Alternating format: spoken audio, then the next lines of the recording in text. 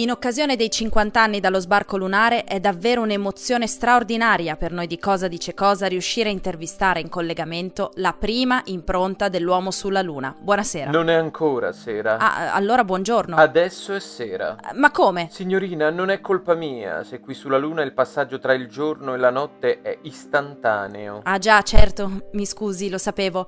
Comunque, mamma mia, che permalosa. Ha ragione, signorina, mi scusi, è che non sono più abituata a parlare con le persone. Ricominciamo dall'inizio. Come va? Ma, insomma. Come mai? Beh, non succede mai niente, sono qui sola soletta. Come un cane, direi, solo che sulla Luna un cane non c'è ancora mai stato. È in depressione? Beh sì, tecnicamente se vogliamo sono una piccola depressione sul suolo lunare, ma nessuno mi aveva mai descritto in maniera così poco romantica. No, dicevo, è triste? Ah, moltissimo. Ho letteralmente il morale sotto la suola. Beh, su via, signora impronta. Intanto per avere 50 anni è in ottima forma. Eh sì, mi mantengo bene, ma non c'è l'atmosfera, è facile, è facile. Beh, mi scusi se mi permetto, ma lei per me è meravigliosa. Lei rappresenta uno dei massimi successi dell'umanità. Ma va, c'è gente che non crede neanche che io esista. Vabbè, ma quelli sono dei pirla. Lo vado a dire al mio analista.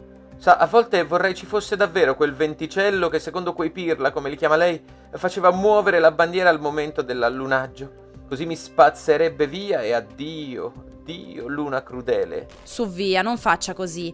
Appare in un sacco di libri. La sua foto è famosissima. Lei è la prima impronta di un essere umano sulla Luna. La seconda? La seconda. Come la seconda? Sì, e neanche spontanea. Sono tutta rifatta. M'hanno dovuto rifare tre o quattro volte perché non venivo bene in foto. Ma perché la seconda? Quel piede lì non è di Neil Armstrong? No, colpo di scena. Mio padre è Buzz Aldrin. Ma va! Eh sì. E la prima impronta? Morta, come tante altre impronte cancellate da altri astronauti. Un impronticidio di massa.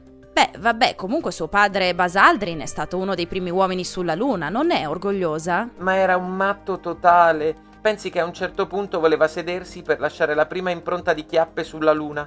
Non sa quanto ha dovuto insistere Neil Armstrong. Beh, però, almeno da qui ha una vista straordinaria della Terra.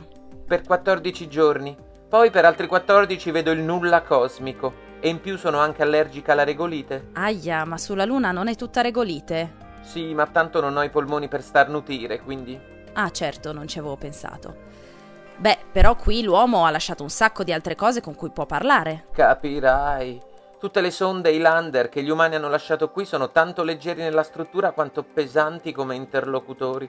La palla da golf lasciata qui dall'Apollo 14 è letteralmente una palla. E in quanto al Fallen Astronaut... Che cos'è il Fallen Astronaut? La statuetta lasciata qui dall'Apollo 15 in memoria degli astronauti caduti.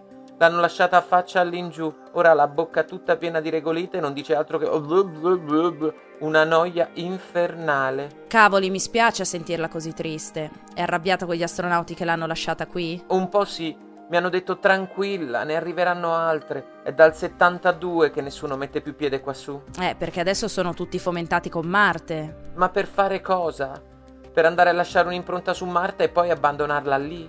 Posso lanciare un appello attraverso voi? Prego. Umani, non abbandonate le vostre impronte, anche loro hanno sentimenti.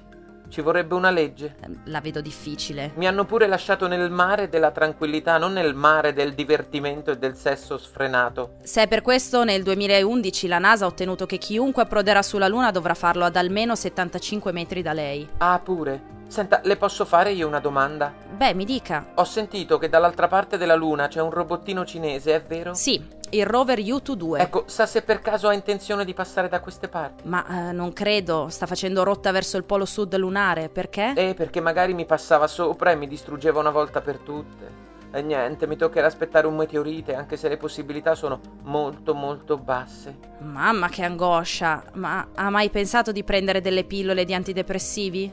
E come faccio? Sulla Luna non c'è acqua. Quantomeno non allo stato liquido. Eh, vabbè, senta, chiudiamola qui. No, ma che fa? Se ne va? Eh, era l'impronta del secondo no, uomo sulla prego, Luna, non intervista in esclusiva per Rimanga, il parliamo Fest. di quello che vuole, di Sex and the City, di calcio, di qualsiasi cosa. Mm, se n'è andata.